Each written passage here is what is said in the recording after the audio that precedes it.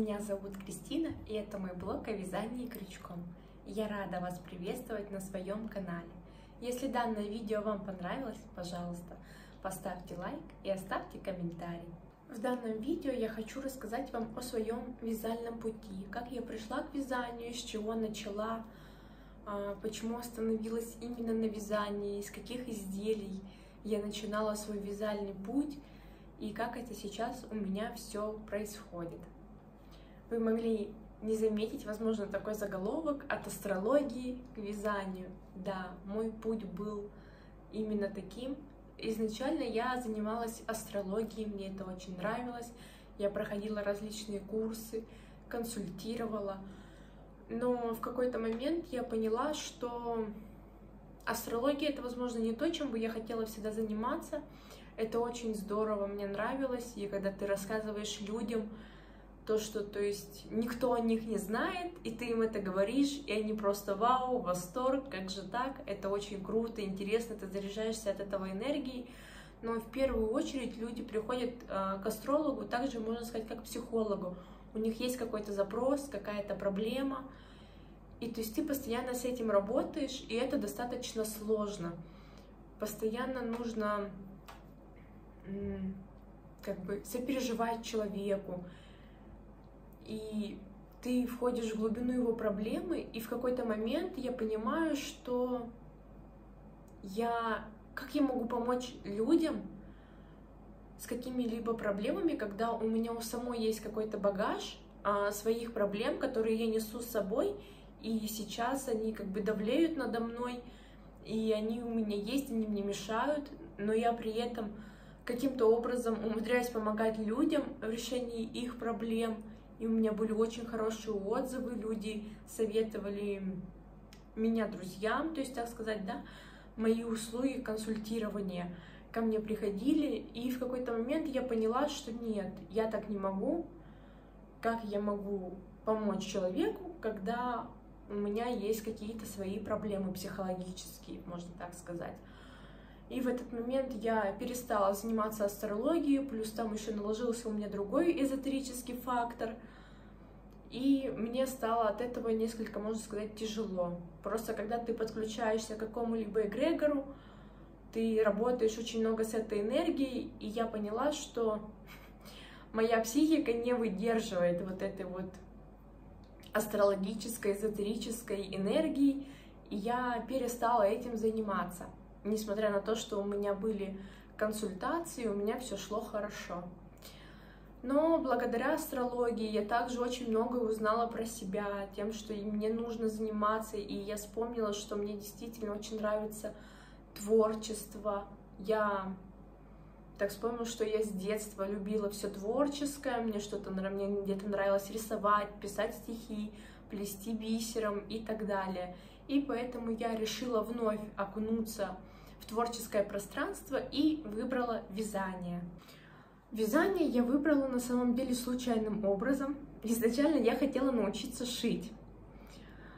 И когда я купила себе немного ткани, села за машинку, и просто я понимаю, что, блин, это вообще не получается.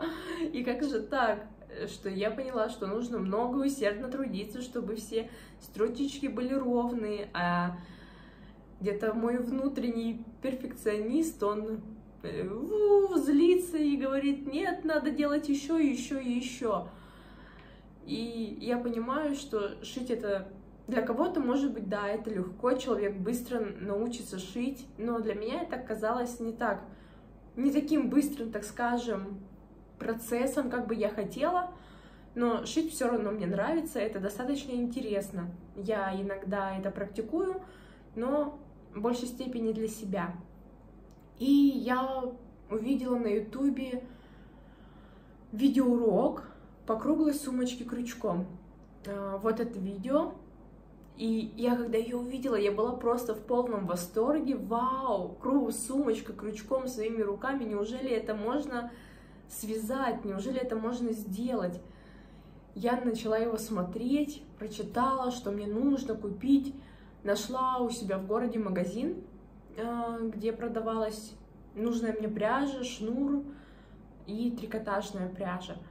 Я говорю мужу, поехали на великах быстрее, там 8 километров всего лишь от нас. Мы сели на велике, доехали, я зашла в этот магазин, я была в полном восторге, там было столько различных цветов, трикотажная пряжа, полиэфирный шнур, хлопковый шнур. Я там набрала полный рюкзак, купила крючок, все необходимые материалы, приехала домой и давай села вязать эту круглую сумку. И тут я включаю видео, и она говорит, кольцо амигуруми. Что такое кольцо амигуруми? она показывает, и я просто сижу с этими нитками, никогда не держав крючок в руке, этот шнур, он достаточно еще такой толстый, я не понимаю, как нужно все это правильно держать и так далее. Тут я ставлю на самую минимальную скорость и все равно не понимаю. Я там что-то эти нитки перекручиваю в руках, у меня вроде что-то вывела, куда-то завела, но ничего не получается. Я пересмотрела столько видео этого кольца Амигуруми, я часа два, честное слово, наверное, сидела и пыталась его связать, и тут, аллилуйя, у меня получилось, и столько радости было, когда я сделала это первое кольцо Амигуруми, связала в него 6 столбиков без накида, и можно сказать, что дальше все пошло как по маслу. Я связала эту сумку, по-моему, дня за три или за четыре, достаточно быстро у меня получилось. Можно сказать, она была практически идеальной. Единственное, у меня, по-моему, не были прибавки не в шахматном порядке, где-то прибавки были друг на другом. Вот. Я связала эту сумку, мне очень сильно понравилось. Но я потом поняла, что круглая сумка это не мой вариант ношения сумки. Я ее распустила и связала из нее что-то совершенно другое. Но и вот с этого, с этой сумки начался мой путь. Потом я приобрела мастер-класс вот на такую сумку Дилайла. Она мне вообще очень нравится. Я ношу ее уже в течение двух лет. У меня она связана в нескольких цветах. Мне вообще люблю небольшие такие сумки. Они удобные, у меня туда все помещается. И вот эта вот Дилайла, я ее, вот честно, просто обожаю. Я ее вот как купила. Для меня, конечно, было сложно ее вязать как новичку но благо у этого мастера Behead Handmade видео все достаточно очень понятные при покупке мастер-классов, там полуторачасовые а, видео мастер-классы, и все достаточно понятно объясняется. Единственное, что у меня, я помню, была проблема, это с соединением. Я не до конца могла понять, а, как правильно делать соединение этой сумочки. Оно у меня было немного корявое, когда я связала несколько моделей, соединение у меня уже было хорошее. А так, в принципе, было все достаточно, ну, не так сложно, можно сказать, как это было с кольцом Амигуруми. Уважаемые зрители, а, напишите в комментариях, как вы научились вязать, как вы пришли к вязанию. Вяжете вы крючком, спицами, возможно, у вас есть еще другие хобби. А, чем вам помогает вязание? Возможно, вы во время вязания отвлекаетесь от чего-то, это для вас как успокоение и так далее. Делитесь об этом в комментариях, что для вас вязание, как вы научились вязать и как вы пришли к этому. Мне будет очень интересно узнать вашу историю, а, как вы пришли к вязанию, не только крючком, но и спицами. Вот такие сумочки, вот эта треугольная из хлопкового шнура, мне очень она нравится. Тоже не такая большая, все нужное в нее помещается. Я в основном ношу только телефон, карты и ключи, больше ничего. Вот эта сумочка, мне тоже нравится такая. Небольшая, но ее, в принципе, можно связать и любым размером, тоже связанный с хлопкового шнура. Я вообще люблю хлопковый шнур, он такой мягкий, тактильно приятный. Да, в стирке он, конечно, не так удобно его стирать, как полиэфирный шнур, но я люблю хлопковый шнур. В этой сумочке я обычно хожу куда-нибудь на аллейку, беру книжку, либо что-то повязать в ней ношу. И вот в таком вот плане. И, конечно же, вот она моя любимая Дилайла. Из хлопкового шнура. Цвет мне очень этот нравится. Я люблю ее. И я ношу вот э, Дилайлу не только в летний сезон, но и весной и осенью. Ну, кро только кроме зимы. И Дилайла вот такая-то у меня летний вариант цветовой гаммы. голубая, я ношу ее в основном только летом, она связана из полиэфирного шнура. Вот это вот такие мои любимые модели сумочки. И, конечно, моя одна из любимых моделей, это у меня есть мастер-класс на канале, сумочка с бахромой. Я ее прям очень обожаю. Ее также вы можете связать вообще любым размером, чтобы вам там нужно, чтобы поместился, допустим, даже кошелек. То есть вы просто увеличиваете начальную цепочку и все. И также приделываете к ней бахрому нужной вам длины. Там все достаточно просто. Также я вязала корзинки, вязала разные корзинки, корзинки вязала и по мастер-классам по чьим-то, и потом я сама начала записывать мастер-классы на корзинки. Я покупала один мастер-класс на корзинку, это была корзинка с деревянным донышком, тогда я еще не знала, как правильно нужно располагать прибавки на прямоугольном донышке или на квадратном. То есть для меня было непонятно, да, там в квадратах с острыми углами делают на углах прибавления, но меня интересовало донышко закругленными краями, и там я не знала, как, в каких местах нужно делать прибавление.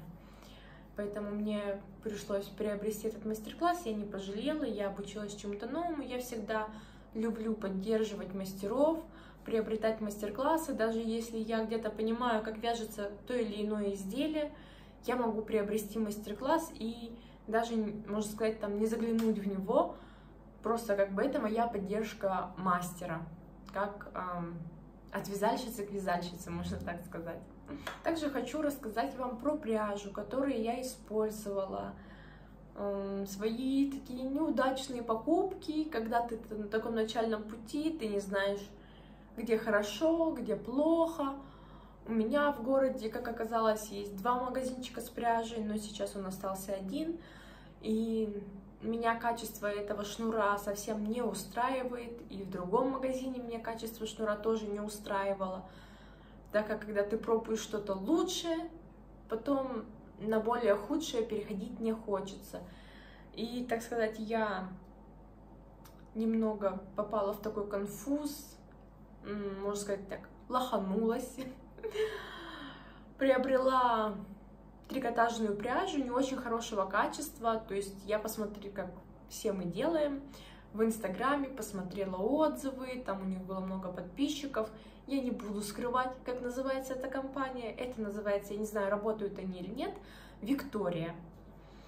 Вот. Трикотажная пряжа.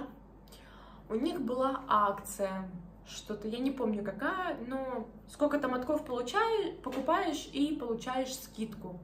Ну, конечно же, кто не хочет скидку при покупке там от скольки-то, от 6 или 5 мотков.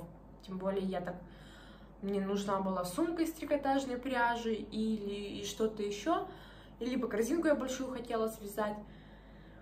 Ну, в общем, я ее заказала, и когда я ее потрогала, и начала из нее вязать, я поняла, что это вообще полное фуфло, что я из этого дешмана не хочу вязать, что это ужасное качество. Ну, к сожалению, на камеру вряд ли это все передастся, но она настолько просто плохая, она очень прям так тянется хорошо, то есть изделие, когда ты вяжешь, оно растягивается и плохо держит форму, со временем оно просто придет быстро в негодность. И тут, если расправить, но на камеру, к сожалению, этого совсем не видно, очень хорошо, так скажем, видна ее текстура вот эта, и она как бы немножко прозрачная и очень сильно растягивается, то есть нить буквально тянешь, она не собирается назад, и она становится тоньше и тоньше. Так э, быть не должно. Тут вот даже есть вот такая вот штука в пряже осталась, Виктория, группа компаний на ней написано. Поэтому не заказывайте там пряжу никогда. Я не знаю, изменилось ли у них качество или нет, но на тот момент это была ужасная пряжа, и я, наверное, из трикотажной я ничего хуже еще пока не видела и, надеюсь, не буду. Далее я хочу сказать про всеми хваленный бисквит, вязальщицы, которые его рекламируют, скидка на сайте. Мне он на самом деле тоже не очень нравится. Изделие ну, блин, как бы тоже для меня не совсем так долго служит. И пряжа быстро скатывается. Я не люблю такое. То есть мне не особо понравилось, она тоже, можно сказать, не так быстро а, восстанавливается, становится тоньше. И текстура ее мне не нравится так. В общем, бисквит, я не знаю, конечно, кто-то получает с этого процент на покупки, но мне у бисквита не нравится ни шнур, он скрипит, когда вяжешь, это ужасно, мне это не, тактильно тоже неприятно, особенно есть некоторые цвета у них, просто берешь в руки, и он тактильно так очень неприятно в руке, что вообще не хочется из него вязать. Какие-то цвета достаточно нормально в руке сидят, и шнур не скрипит, но это не всегда так бывает. А другие цвета шнур скрипит, и в руке его вообще неприятно тактильно держать. Вот этот, а, тут у меня есть также шнур полиэфирный остался от Виктории. Мне он тоже не особо нравится. Я начала из него вязать, я помню, корзинку. Я вот тут его все распустила и смотала в такой моток. Мне он тоже тактильно не особо приятен, вязать из него не очень. Единственная пряжа, трикотажная, и не только трикотажная пряжа, что мне понравилось, это пряжа Citrus. Это не реклама. У меня еще слишком мало подписчиков, чтобы делать рекламу на моем канале. Поэтому я даю честную оценку на все, что я покупаю, все, чем я пользуюсь. Это мое личное мнение и ничего другое. Вот. А, вы бы знали, когда я первый раз ее купила, она такая бархатистая и приятная в руках, что вот действительно не хочется ее выпускать из рук. И ниточка, она снова восстанавливается, то есть она не растягивается, она не становится, допустим, как Виктория вообще там истончается, либо как бисквит становится тоньше и не возвращается в форму. А цитрус я очень люблю, и она как бы хоп, и назад, как резиночка. И на ощупь она просто очень такая приятная. И вот это вот, э, если ее, так сказать, немного раздвинуть нить, то есть она не растягивается тоже, она достаточно такая плотная нитка, эта ткань. У себя в Инстаграме они пишут, какую они используют, я, честно говоря, не помню. В общем, трикотажная пряжа от цитруса самая лучшая. Также хочу сказать про бисквит пряжа Центр. А, этот, а, знаете, как называется? Джут. Вот. А, джут, который там тоже все якобы нахваливают. Ужасно. Я из него вязала, все сыпется, тьма узелков, грязный, чем-то пахнет. В общем, мне не понравилось. Я покупала джут, я не помню, Сальтера, по-моему, фирма называется. Вот он, у него достаточно хорошая нить. Мне понравилось, да, он крошится, но там нет грязи. Вот э, в джуте от пряжи центра прям какие-то, я не знаю, черные штуки вываливаются. И он очень сильно крошится, он чересчур жесткий, я бы сказала. А вот э, джут от Сальтеры, да, джут он весь как бы жестковатый, он там летят с него эти вот его волокна но никакой черноты узелков не было, джут золотистый, мне он понравился.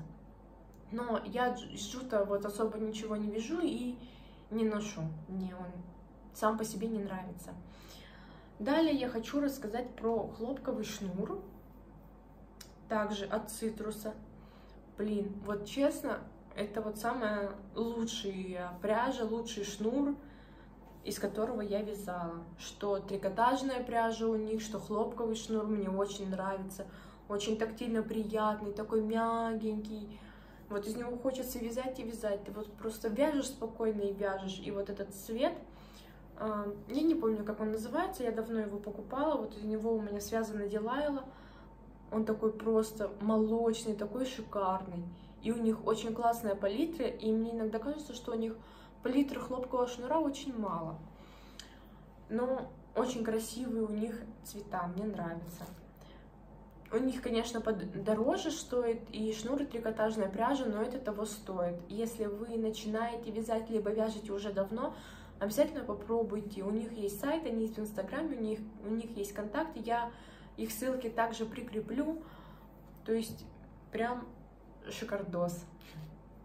А, далее я хочу еще вот показать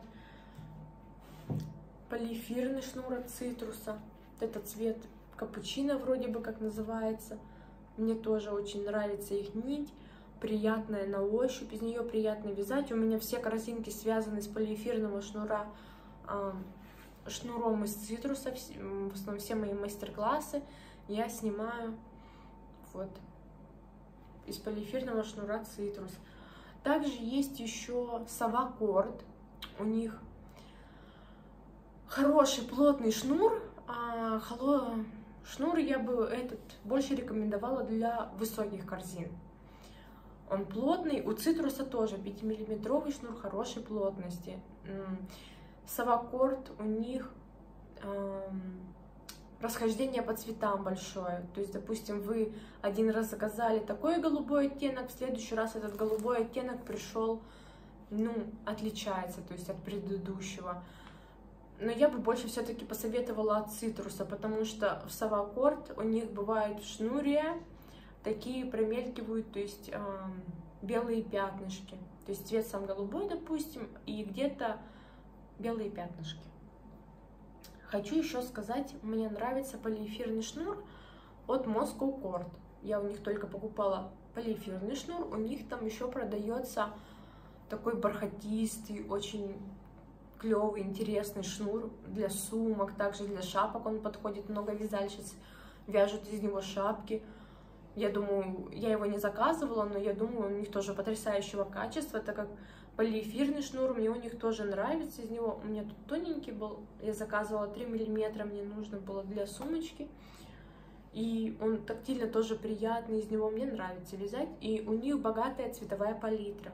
Сейчас они еще вышли на Озон, на Озоне у них вроде есть э, полиэфирные шнуры, ссылку на Moscow Cord я также при, при, прикреплю, оставлю. И одно время они еще продавали, производили шнуры хлопковые, у них были там разные разновидности, но мне не нужно было на какие-то изделия, поэтому я их не приобретала, сейчас у них они их, по-моему, не производят. Также у них есть производство донышек, крышечек, основы для пуфов. В общем, мне очень нравится, они молодцы, у них хорошее качество. Если вы также хотите попробовать какую-то хорошую пряжу, хороший шнур, то советую а, приобрести у них. Сейчас я вблизи покажу всю трикотажную пряжу в развороте, как это все выглядит. Вот этот первый вариант, это пряжа от Виктории, которая мне совершенно не понравилась. А, сделана она явно из самого дешевого сырья, когда ее даже разворачиваешь, здесь вот все краешки начинают крошиться, так быть не должно, если ее разворачиваешь. И заметьте, что она можно сказать, тут не особо видно на видео, что она, ну, как бы просвечивает немного. Очень тонкая нить. Вот, загляните. Как вот э, видно все вот эти вот полосы очень сильно. Следующее это бисквит. Да, вязать из нее можно, но для меня нитка не настолько приятная, как бы я хотела, наверное. Тут уже, когда разворачиваешь конечно, есть а, немного такие моменты, вот таких вот а, обрывов, можно сказать, то, что она тоже немножко будет крошиться. Но при вязании, конечно, она крошиться не будет, просто когда ее разворачиваешь, нить а, по бокам немножечко крошится. Вот так вот тянется она. Я бы не... Она, конечно, стягивается назад, но а, не как прям как а, резинка. Растянуть ее достаточно просто. А вот еще пряжа от Виктории. Она растягивается очень сильно и становится достаточно тонкой. Я пробовала связать из нее корзину, я даже, честно, не довязала, потому что я не смогла вязать из нее, потому что, ну, тактильно вообще неприятно. Из бисквита я вязала сумку. А, сумка достаточно быстро скаталась из трикотажной пряжи. Вот. Корзинки я не помню, я, по-моему, из бисквита не вязала. Далее цитрус, мой любимый. А, жаль, конечно, через YouTube нельзя передать, а, насколько это она мягкая и нежная. И просто, когда вязать из нее, вообще вот в руках, когда держишь, сплошное удовольствие, она как такая бархатная. Мне очень нравится эта пряжа. У нее такая достаточно она хорошая плотность. Приятно вяжется. То есть у них есть еще 7, вот это 7-9 миллиметров, есть еще 3-5 миллиметра для тех, кто вяжет тапочки, вот этот верх для тапочек, э, чтобы он был не такой плотный, толстый. Еще хочу сказать, если вы вяжете тапочки из трикотажной пряжи, не вяжите из трикотажной пряжи подошву. Подошва достаточно быстро из трикотажки а, стирается, из любой, независимо бисквит, это цитрус, либо вот а, это, из этой понятно. Она испортится. Я связала, кстати, один раз подошву из этой пряжи. И она, можно сказать, вообще не держала форму, она вся как-то растянулась ужасно. И, то есть, это, ну, никуда не годится, естественно. Особенно если вы планируете вязать на заказ, а, смотрите, чтобы у вас пряжа была хорошего качества. Лучше поднять немного больше, сделать цену, но не вяжите из плохой пряжи. Она будет растягиваться при носке очень сильно, а, будет портиться быстро. И если вы хотите, чтобы к вам клиент вновь вернулся, то лучше выбирайте а, хороший продукт, достойную пряжу. Вот. Но я вязала тапочки также из цитруса и из бисквита, что у той и у той трикотажки подошва достаточно быстро ну, начала стираться. То есть вот в таком плане. Я носила, это были домашние тапочки, я носила их дома, носила без носок. И пряжа все равно достаточно быстро шоркалась, независимо уже даже от качества нити, из которой они делают трикотажную пряжу, какой трикотаж они покупают. Очень мне нравится бисквит в корзинах, очень приятно и красиво, и в сумках. Единственное, что мне не очень нравится трикотажная пряжа, я сейчас из нее практически вообще не вяжу, это стирка. Что полиэфирный шнур, он достаточно быстро моется, и стирать его намного проще. То есть у меня есть сумка из полиэфирного шнура и также салфетки. Я их просто закидываю в стиралку и все. И все без проблем стирается, без каких-либо повреждений. Вот с трикотажной пряжей, конечно, уже посложнее. Также хлопковый шнур можно постирать. Я сейчас вяжу только из хлопкового шнура в основном и из полиэфирного. А, крайне редко это джут. Поэтому, если вы вяжете тапочки, то я рекомендую связать подошву джутовую, а верхнюю часть связать из трикотажной пряжи, либо можно связать даже из хлопкового шнура потоньше или из э, полиэфирного. Ну, из полиэфирного, наверное, верхушку не очень приятно, так как он достаточно такой гладкий и тактильно для ног, я бы сказала, не очень приятный. Поэтому выбрала бы для верха трикотажную пряжу, либо хлопковый шнур. Также хочу показать хлопковый шнур от Citrus. Очень мне нравится. Посмотрите, какая текстура, какой красивый цвет. Он просто, он тоже такой мягкий в руках. Из него очень приятно тактильно вязать. А у меня э, сейчас, к сожалению, нету в наличии из него корзинок. Но смотрится он, конечно, просто превосходно. Мне очень нравится.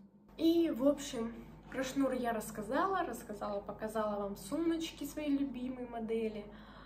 И, в общем, достаточно, я не помню, сколько по времени я вязала вот сумочки, корзинки. И мне так было страшно переходить, я смотрела на игрушки, переходить на более мелкую пряжу.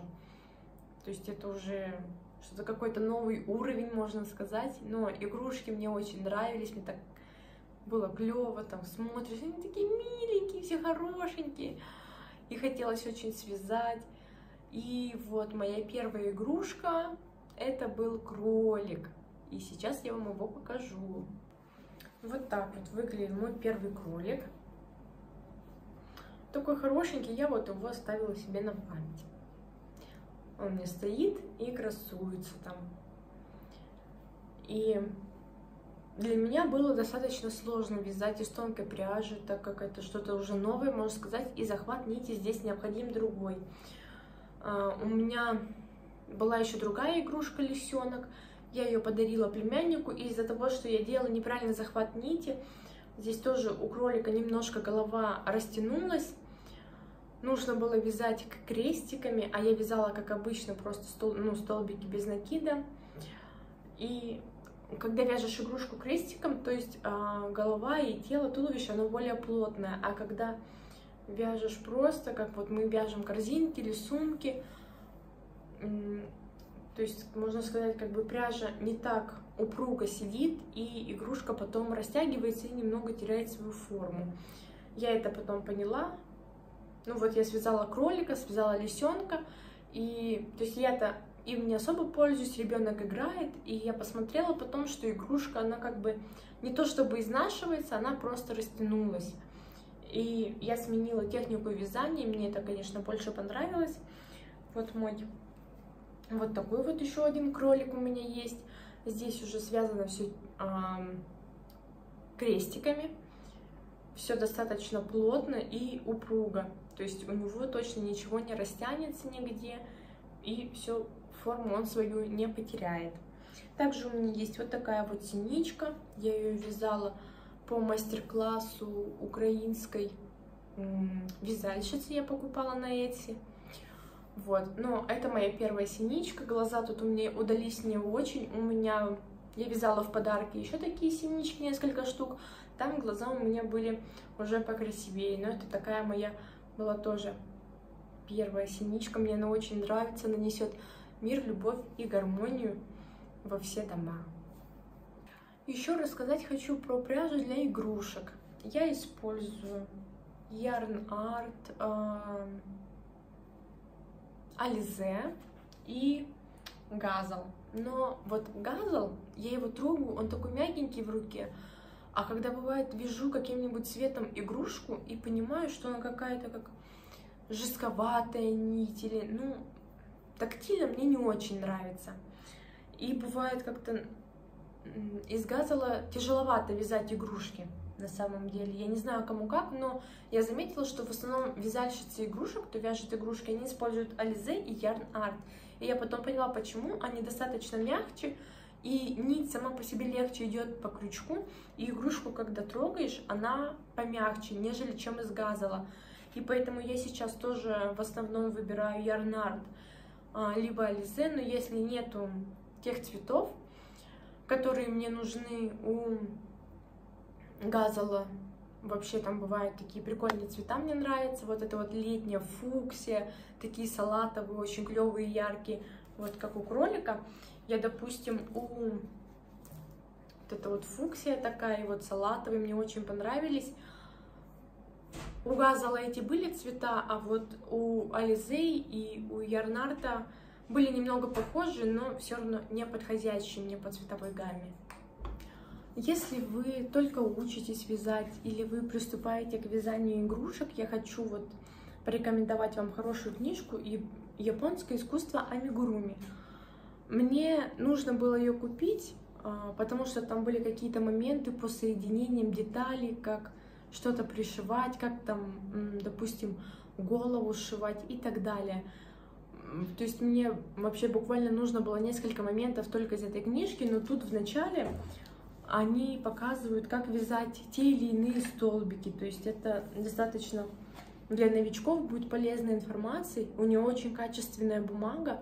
Она идет даже больше как э, такой подарочный вариант, я бы сказала. То есть книжка очень классная и достаточно информативная, если вы, еще раз повторюсь, учитесь вязать или учитесь вязать игрушки, то это очень хорошее такое начало по вязанию игрушек.